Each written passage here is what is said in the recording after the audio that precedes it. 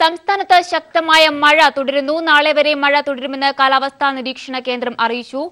കടലിൽ ഇറങ്ങാ- ഇറങ്ങാതിരിക്കാൻ ജനങ്ങൾ ശ്രദ്ധിക്കണമെന്ന് ദുരന്ത നിവാരണ സമിതിയുടെ മുന്നറിയിപ്പ്. വിവരങ്ങളുമായി ന്യൂസ് ഡെസ്കിൽ നിന്നും ലെസ്ലി ജോൺ ചേരുകയാണ്.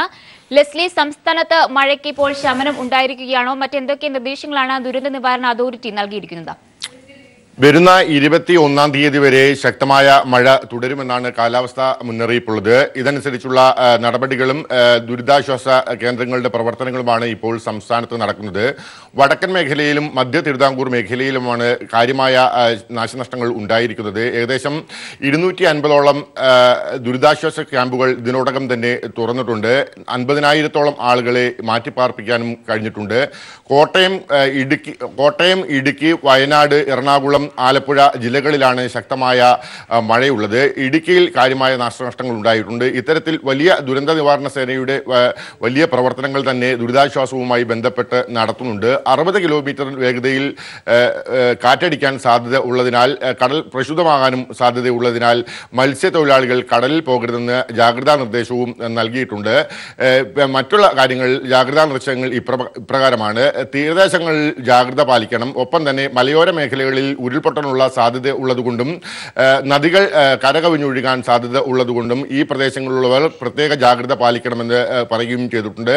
വിനോദസഞ്ചാരികൾ ഈ മേഖലയിലേക്ക് വിനോദസഞ്ചാരത്തിന് പോകുന്നതിൽ താൽക്കാലിക നിയന്ത്രണവും ഏർപ്പെടുത്തുകയും ചെയ്തിട്ടുണ്ട്. വ്യക്തമാണ് സംസ്ഥാനത്ത് കനത്ത മഴ തുടരുകയാണ്.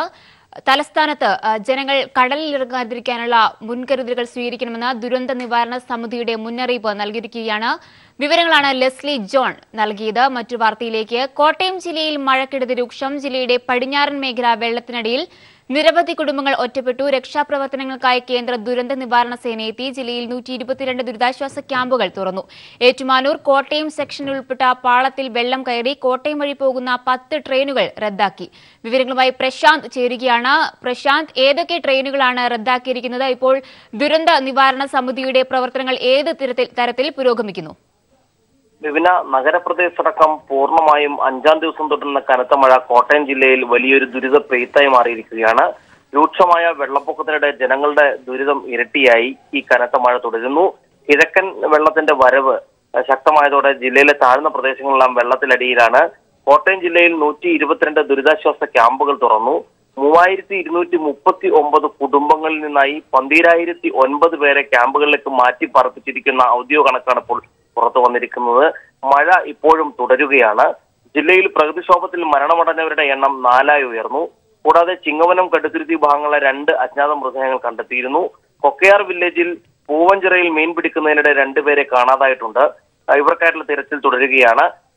പാളത്തിൽ വെള്ളം കയറാൻ സാധ്യത ഉള്ളതിനാൽ ഇപ്പോൾ കോട്ടയം വഴിയുള്ള പത്ത് ട്രെയിനുകൾ റദ്ദാക്കിയിരിക്കുന്നു. പലയിടത്തും റോഡുകളും പാലങ്ങളുമെല്ലാം ഇപ്പോഴും വെള്ളത്തിനടിയിലാണ്. മിക്കയിടത്തും വൈദ്യുതിയുമില്ല. മീനച്ചിലാർ കര കവിഞ്ഞതിനാൽ വെള്ളത്തിനടിയിലായ പാല ഈരാറ്റുപേട്ട ഭാഗങ്ങളിൽ ശക്തമായ മഴ തുടരുകയാണ്. പാല നഗരത്തിലെ വെള്ളം ഇറങ്ങിയെങ്കിലും ഉൾപ്രദേശങ്ങളിലെ വീടുകളിൽ വെള്ളം കയറിയിട്ടുണ്ട്. പടിഞ്ഞാറൻ മേഖലയിൽ പലതും ഇപ്പോഴും വെള്ളം കയറി ഒറ്റപ്പെട്ട നിലയിലാണ്. താഴത്തങ്ങാടിയിൽ ആലുമൂട് മുതൽ ചെങ്ങളം വരെയുള്ള റോഡും ഇല്ലിക്കൽ കവലയും പൂർണമായും വെള്ളത്തിനടിയിലാണ്. ജലനിരപ്പ് ഉയർന്നതോടെ കുമരകം റൂട്ടിൽ ബസ് സർവീസുകൾ അടക്കം നിർത്തിവെക്കേണ്ടുന്ന സ്ഥിതിയാണ് ഇന്നലെ മുതൽ ഉണ്ടായിരുന്നത് കോട്ടയം പാല അതുപോലെ തന്നെ പാല ഈരാറ്റുപേട്ട ചങ്ങനാശ്ശേരി ആലപ്പുഴ റോഡുകളിലെ വാഹന ഗതാഗതവും മുടങ്ങിയിരിക്കുന്നു. കോട്ടയം നഗരസഭയുടെ വിവിധ ഭാഗങ്ങളും വെള്ളത്തിനടിയിലാണ്. കോട്ടയം നഗരത്തിൽ എം സി റോഡിൽ കോടിമതയിൽ വെള്ളം കയറി മണ്ണിട്ടുയർത്തിയ റോഡിലാണ് വെള്ളം കയറിയിരിക്കുന്നത്. അതുപോലെ എം സി റോഡിലെ പമ്പും സ്ഥാപനങ്ങളും എല്ലാം തന്നെ വെള്ളത്തിൽ മുങ്ങിക്കിടക്കുന്നു. കോടിമതയിലെ boat jetty Kodimatha police station ക്യാന്റീനും സ്റ്റേഷന്റെ ഒരു ഭാഗവും എല്ലാം തന്നെ വെള്ളത്തിലാണ്. എം ജി റോഡിലെ പച്ചക്കറി മാർക്കറ്റിന്റെ പ്രദേശവും വെള്ളത്തിൽ മുങ്ങി. കോട്ടയം മെഡിക്കൽ കോളേജ് ഭാഗത്തേക്ക് വരികയാണെങ്കിൽ റൂട്ടിൽ വാരിശ്ശേരി ഭാഗത്ത് ഇരുവശങ്ങളുമുള്ള വീടുകളിൽ വെള്ളം കയറിയിട്ടുണ്ട്. ചുങ്കം പാലത്തിന് സമീപമുള്ള മുപ്പതോളം വീടുകളിൽ മുറിക്കുള്ളിൽ വരെ വെള്ളത്തിൻ അടിയിലാണ്. അപ്പോൾ വലിയ ഒരു ദുരിത പെയ്ത്താണ് ജില്ലയിൽ ഉണ്ടായിരിക്കുന്നത്. മാത്രവുമല്ല ഇപ്പോൾ ട്രെയിൻ സംബന്ധിച്ച കാര്യങ്ങൾ പറയുമ്പോൾ പത്തോളം ട്രെയിനുകളാണ്. പ്രധാനവും പാസഞ്ചർ ട്രെയിനും അതുപോലെ പാലരുവി അടുക്കമുള്ള ട്രെയിനുകളാണ്. അതിൽ എക്സ്പ്രസ് അടക്കമുള്ള ട്രെയിനുകളാണ് ഇപ്പോൾ ഇതുവഴിയുള്ള നിർത്തിവച്ചിരിക്കുന്നത്. തിരുനെൽവേലി പാലക്കാട് പാലരുവി അതുപോലെ തന്നെ പാലക്കാട് പാലരുവി എക്സ്പ്രസ് എറണാകുളം കോട്ടയം പാസഞ്ചർ കോട്ടയം എറണാകുളത്തേക്കുള്ള സർവീസുകളും അതുപോലെ തന്നെ എറണാകുളം കായംകുളം പാസഞ്ചർ കോട്ടയം വഴിയുള്ള അതുപോലെ തന്നെ കായംകുളം എറണാകുളം പാസഞ്ചർ പാസഞ്ചർ അതുപോലെ കൊല്ലം എറണാകുളം മെമു എറണാകുളം കൊല്ലം മെമു അങ്ങനെ ഗുരുവായൂർ പുല്ലൂർ പാസഞ്ചർ പുനലൂർ ഗുരുവായൂർ പാസഞ്ചർ എന്നിങ്ങനെ പത്തോളം ട്രെയിനുകളുടെ ഇരുഭാഗത്തേക്കുമുള്ള സർവീസുകളാണ് ഇപ്പോൾ നിർത്തിവച്ചിരിക്കുന്നത്. വ്യക്തമാണ്. കോട്ടയം ജില്ലയിൽ കനത്ത മഴ ഇപ്പോഴും തുടരുകയാണ്. നാല് മൃതദേഹങ്ങൾ കൂടി ഇപ്പോൾ കണ്ടെത്തിയിരിക്കുകയാണ്. വിവരങ്ങളാണ് പ്രശാന്ത് നൽകിയത്. മറ്റൊരു വാർത്തയിലേക്ക് കൊച്ചിയിലും കനത്ത മഴയെ തുടർന്ന് ജനജീവിതം ദുരിതത്തിൽ. ജില്ലയിൽ അൻപത്തിരണ്ട് ക്യാമ്പുകൾ തുറന്നു. വിദ്യാഭ്യാസ സ്ഥാപനങ്ങൾക്ക് അവധി. വിവരങ്ങളുമായി സിബി ചേരുകയാണ്. സിബി വിശദാംശങ്ങൾ. ആ ബിബിന കൊച്ചിയിലും ഇന്ന് മഴക്കെടുതി മൂലം വളരെയധികം ജനങ്ങൾ ദുരിതം അനുഭവിക്കുകയാണ്. ഇന്ന് രാവിലെ കൊച്ചിയിലെ നഗര പ്രദേശങ്ങളിൽ ഇന്ന് രാവിലെ മഴയ്ക്ക് അല്പം ശമനം ഉണ്ടായിട്ടുണ്ട്. എങ്കിൽ പോലും റോഡുകളിലും മറ്റും വലിയ വെള്ളക്കെട്ടാണ് ഉള്ളത് ആ വെള്ളക്കെട്ട് അല്പം നീങ്ങി തുടങ്ങുന്നതേ ഉള്ളൂ. കൊച്ചി നഗരത്തെ സംബന്ധിച്ച് പ്രത്യേകിച്ച് ഈ ഓടയിൽ നിന്നും വെള്ളം ഒഴുകി ഈ റോഡിലേക്ക് ഒഴുകി പെട്ടെന്ന് തന്നെ മലിനമാകും റോഡ് മുഴുവൻ മലിനമാകുന്ന ഒരു അവസ്ഥയാണ് കൊച്ചിയെ സംബന്ധിച്ച് ഒരു വെള്ളക്കെട്ടിൽ മഴക്കെടുതി ഉണ്ടായവർ ആദ്യം അനുഭവിക്കുന്നത്. മാത്രമല്ല ഈ ചെല്ലാനം കണ്ണമാലി തുടങ്ങിയുള്ള വൈപ്പിൽ തുടങ്ങിയ തീരദേശ മേഖലകളിലെല്ലാം തന്നെ ജനങ്ങൾ വളരെയധികം ദുരിതത്തിലാണ്. അവർ കഴിഞ്ഞ ദിവസങ്ങളായിട്ട് തന്നെ എല്ലാം തന്നെ ഇവർ ക്യാമ്പുകളിലാണ്. എറണാകുളം ജില്ലയിൽ ആകെ അൻപത്തിരണ്ട് ക്യാമ്പുകളാണ് എറണാകുളം ജില്ലയിൽ ഇപ്പോൾ തന്നെ ദുരിതാശ്വാസ ക്യാമ്പുകൾ ഉള്ളത് ഏകദേശം ആയിരത്തി അഞ്ഞൂറോളം കുടുംബങ്ങൾ അതായത് നാലായിരത്തി അഞ്ഞൂറോളം പേരെ നാലായിരത്തി അഞ്ഞൂറോളം പേരെ വിവിധ ക്യാമ്പുകളിലായിട്ട് പുനരധിവസിപ്പിച്ചിട്ടുണ്ട്. കൂടാതെ ഈ എറണാകുളം ജില്ലയിൽ കോതമംഗലം മൂവാറ്റുപുഴ തുടങ്ങിയ ഹൈറേഞ്ച് മേഖല ഉൾപ്പെടുന്ന ഏരിയകളിലാണ് ഏറ്റവും കൂടുതൽ ദുരിതം അനുഭവിക്കുന്നത്. ഇവിടെല്ലാം തന്നെയും വലിയ വെള്ളക്കെട്ടാണുള്ളത്. അതോടൊപ്പം തന്നെ ഇന്ന് രാവിലെ എറണാകുളം ജില്ലയിൽ ജില്ലയിൽ ആകെ ഫസ്റ്റ് തലം വരെ സ്കൂളുകളിൽ അവധി പ്രഖ്യാപിച്ചിട്ടുണ്ട്. കൊച്ചി നഗരത്തെ സംബന്ധിച്ച് പ്രത്യേകിച്ച് മെട്രോയുടെ നിർമ്മാണമെല്ലാം തന്നെയും തൃപ്പൂണിത്തുറയിലേക്ക് നീട്ടി ഇപ്പോഴും വർക്ക് നടക്കുന്ന സമയമാണ് ഈ വർക്കുകളെല്ലാം തന്നെയും ഈ ഈ തോരാത്ത മഴ വളരെ വളരെയധികം ദുരിതം അല്ലെങ്കിൽ വളരെ തടസ്സപ്പെടുത്തിയിട്ടുണ്ട്.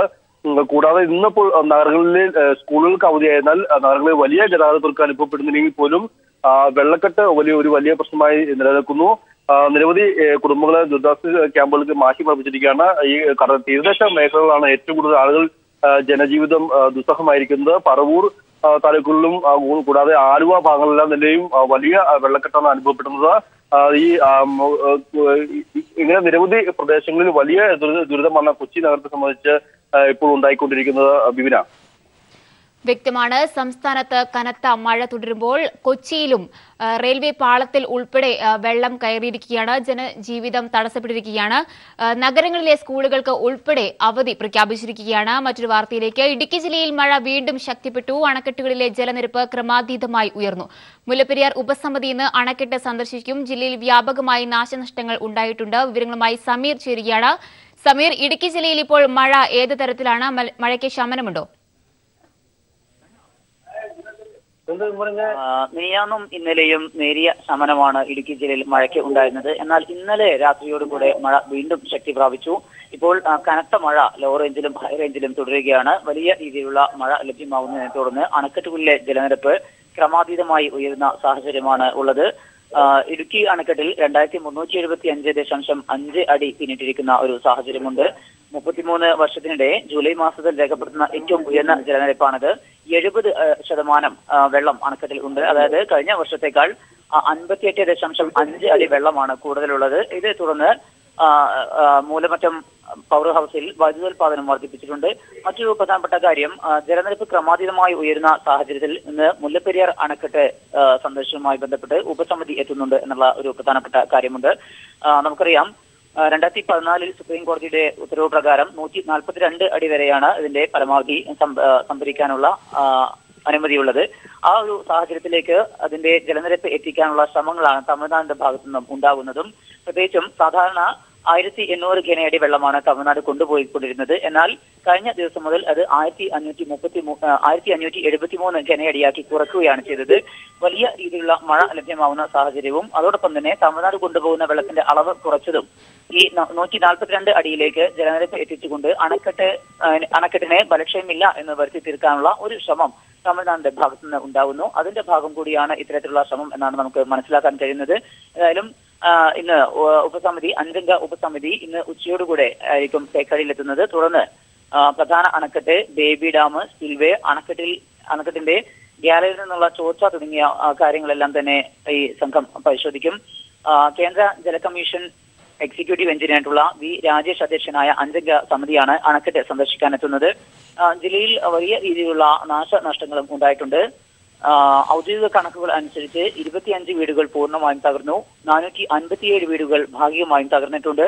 വലിയ രീതിയിലുള്ള മറ്റ് തരത്തിലുള്ള കെട്ടിടങ്ങളുടെ നാശനഷ്ടങ്ങളും ഉണ്ടായിട്ടുണ്ട്. കാർഷിക മേഖലയിൽ ഉണ്ടായിട്ടുള്ള നാശനഷ്ടങ്ങളും വ്യാപകമാണ്. ഇത് സംബന്ധിച്ച് ഔദ്യോഗിക ഔദ്യോഗികമായിട്ടുള്ള കണക്കുകൾ നമുക്ക് വൈകാതെ ലഭ്യമാകും. മറ്റൊരു പ്രധാനപ്പെട്ട കാര്യം ജില്ലയിൽ തുടരുന്ന മഴയെ തുടർന്ന് അഞ്ച് ദുരിതാശ്വാസ ക്യാമ്പുകൾ തുറന്നിട്ടുണ്ട്. ഇവിടങ്ങളിലേക്ക് ഇരുപത് കുടുംബങ്ങളെയാണ് മാറ്റി പാർപ്പിച്ചിട്ടുള്ളത് തൊടുപുഴ കാളിയാറിൽ പതിനേഴ് കുടുംബങ്ങളിലെ കുടുംബങ്ങളെ മാറ്റിപ്പാർപ്പിച്ചിട്ടുണ്ട്. ദേവികുളം താലൂക്കിൽ തുറന്നിട്ടുള്ള പെരിയാറിലെ ദുരിതാശ്വാസ ക്യാമ്പിൽ മൂന്ന് കുടുംബങ്ങളെയും മാറ്റി പാർപ്പിച്ചിട്ടുണ്ട് ആ, അതോടൊപ്പം തന്നെ വ്യക്തമാണ് വ്യക്തമാണ്. ഇടുക്കി ജില്ലയിലും മഴ കനത്ത മഴ തുടരുകയാണ്. ഇരുപത്തി അഞ്ച് വീടുകൾ പൂർണമായും തകർന്നതായാണ് സമീർ നൽകിയ വിവരം. അതോടൊപ്പം തന്നെ ഇന്ന് അണക്കെട്ടുകളിലെ ജലനിരപ്പ് ഉയർന്നതിനെ തുടർന്ന് അഞ്ചംഗ ഉപസമിതി സുരക്ഷാ പരിശോധനയ്ക്കായി ഇന്ന് അവിടേക്ക് എത്തുകയാണ്. വിവരങ്ങളാണ് സമീർ നൽകിയത്. മറ്റൊരു വാർത്തയിലേക്ക് കാലവർഷക്കെടുതിയിൽ ഒലിച്ചു പോകുന്നത് ശീതകാല പച്ചക്കറി കർഷകരുടെ സ്വപ്നങ്ങൾ കൂടിയാണ്. ഓണവിപണി ലക്ഷ്യമിട്ട് കൃഷിയിറക്കിയ മറയൂർ വട്ടവട മേഖലയിലെ കർഷകരാണ് ദുരിതത്തിലായിരിക്കുന്നത്. ശീതകാല പച്ചക്കറിയുടെ വിളനിലമായ മറയൂർ കാന്തല്ലൂർ വട്ടവട മേഖലയിലുണ്ടായ കനത്ത മഴയും കാറ്റുമാണ് കർഷകരെ പ്രതിസന്ധിയിലാക്കിയത്. ഓണവിപണി ലക്ഷ്യമിട്ട് കടം വാങ്ങിയും മറ്റും ഇറക്കിയ കൃഷിയിൽ ഭൂരിഭാഗവും നശിച്ചു. കാരറ്റ് ബീൻസ് ഉരുളക്കിഴങ്ങ് ക്യാബേജ് ബീട്രൂട്ട് വെളുത്തുള്ളി തുടങ്ങിയ വിളകളാണ് മഴയിൽ ചീഞ്ഞും ഒലിച്ചുപോയും നശിച്ചത്. ലോൺ ചെയ്തത് സ്വന്തം കൃഷി സ്വന്തം സ്ഥലമേ ഇല്ല. ഞങ്ങൾക്ക് കൂടിയത് കുത്തയ്ക്ക് വാങ്ങിയിട്ട് ഞങ്ങൾ போட்டுட்ருக்குறோம் சர்க்கார் பார்த்து எதனா ஒரு விவகாரம் செஞ்சால் மட்டும்தான் எனக்கு இதில் வாழ முடியும் விவசாயம் மொத்தம் நச்சு பேசி மழையில் நாங்கள் பிள்ளைக்குட்டி படிக்க வைக்கிறது பயங்கர கஷ்டத்தில் தான் இருக்கிறோம் പുത്തൂർ പെരുമല ആടിവയൽ കുളച്ചിവയൽ കീഴാന്തൂർ എന്നിവിടങ്ങളിലും കൃഷിനാശം വ്യാപകമാണ് ഈ മഴ തുടർന്നുകൊണ്ട് ഈ പ്രദേശത്തെ മൊ- കർഷകരെ മൊത്തം പ്രതിസന്ധിയിലാക്കിയിട്ടുണ്ട് കൃഷിയുമായി മുന്നോട്ടു പോകാൻ സർക്കാരിന്റെ അടിയന്തര ഇടപെടലുണ്ടാകണമെന്നാണ് കർഷകർ ആവശ്യപ്പെടുന്നത് ന്യൂസ് ബ്യൂറോ ഇടുക്കി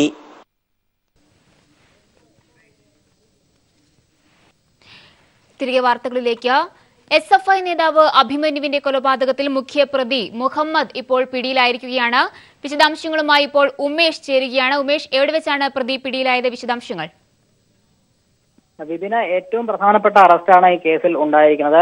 അഭിമന്യുവിനെ കൊലപ്പെടുത്തിയ കേസിലെ മുഖ്യപ്രതി മുഹമ്മദിനെയാണ് പോലീസ് ഇപ്പോൾ അറസ്റ്റ് ചെയ്തിരിക്കുന്നത്. എവിടെ നിന്നാണ് ഇയാളെ അറസ്റ്റ് ചെയ്തിരിക്കുന്നത് എന്ന് സംബന്ധിച്ച വിവരം പോലീസ് പുറത്തുവിട്ടിട്ടില്ല. ഏതായാലും ഏറ്റവും നിർണായകവും അതിപ്രധാനവുമായ അറസ്റ്റാണ് ഇപ്പോൾ ഉണ്ടായിരിക്കുന്നത്. നേരത്തെ തന്നെ ഈ കേസിൽ പതിനഞ്ച് പ്രതികളാണ് ഉണ്ടായിരുന്നത് എന്ന് എഫ്ഐആർ റിപ്പോർട്ടിൽ പറഞ്ഞിരുന്നു. ഒരാൾ ക്യാമ്പസിലെ വിദ്യാർത്ഥിയും ബാക്കി പതിനാല് പേർ പുറത്തു നിന്നുള്ളവരാണ് എന്നുമാണ് പോലീസ് കണ്ടെത്തിയത്. ഈ ക്യാമ്പസിലെ വിദ്യാർത്ഥി മഹാരാജാസ് കോളേജിലെ തന്നെ മൂന്നാം വർഷ വിദ്യാർത്ഥിയാണ്. അയാൾ ക്യാമ്പസ് ഫ്രണ്ടിന്റെ മഹാരാജാസ് യൂണിറ്റ് പ്രസിഡന്റുമായ മുഹമ്മദാണ് എന്ന് പോലീസ് തിരിച്ചറിഞ്ഞിരുന്നു. ഇയാൾക്ക് വേണ്ടി ദിവസങ്ങളായി തന്നെ പോലീസ് വ്യാപകമായ തിരച്ചിൽ ശക്തമാക്കിയിരുന്നു. ഇയാളുടെ കുടുംബമടക്കം ഒളിവിൽ പോകുന്ന ഒരു സാഹചര്യം ഉണ്ടായിരുന്നു. ഈ ഘട്ടത്തിലാണ് വളരെ നിർണായകമായ അറസ്റ്റ് ഇയാളുടെ അറസ്റ്റ് പോലീസ് രേഖപ്പെടുത്തിയിരിക്കുന്നത്. കേരളത്തിൽ നിന്ന് തന്നെയാണ് ഇയാളെ അറസ്റ്റ് ചെയ്തിരിക്കുന്നത് എന്നാണ് ഇപ്പോൾ നമുക്ക് ലഭിച്ചിരിക്കുന്ന സൂചനകൾ. ഈ അക്രമത്തിന്റെ ആസൂത്രകൻ തന്നെ മുഹമ്മദാണ് എന്ന അതാണ് നമുക്ക് ലഭിച്ചിരിക്കുന്ന വിവരം.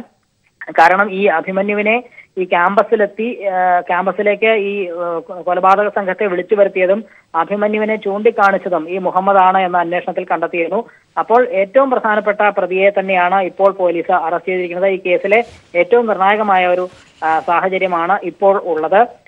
ഈ മുഹമ്മദിനെ വിശദമായി ചോദ്യം ചെയ്യുന്നതോടെ ആരൊക്കെയാണ് ഈ കേസിലെ മറ്റുള്ളവർ ആരൊക്കെയാണ് എന്നുള്ളത് നേരത്തെ തന്നെ പോലീസ് തിരിച്ചറിഞ്ഞിരുന്നു.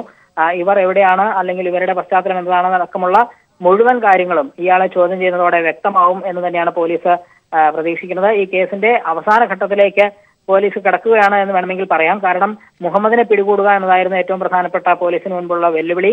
അത് വളരെ വിജയകരമായി തന്നെ പോലീസ് പൂർത്തിയാക്കിയിരിക്കുന്നു. മുഹമ്മദിനെ പോലീസ് അറസ്റ്റ് ചെയ്തിരിക്കുന്നു.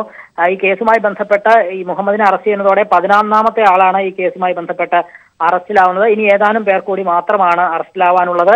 പ്രധാന പ്രതികൾ ഇപ്പോൾ പിടിയിലായിരിക്കുന്നു. ഈ കൊലപാതക കൃത്യം ത്തിൽ നേരിട്ട് പങ്കെടുത്തവർ പിടിയിലായിരിക്കുന്നു. ഇപ്പോൾ പിടിയിലായിരിക്കുന്നത് ആസൂത്രകനാണ്.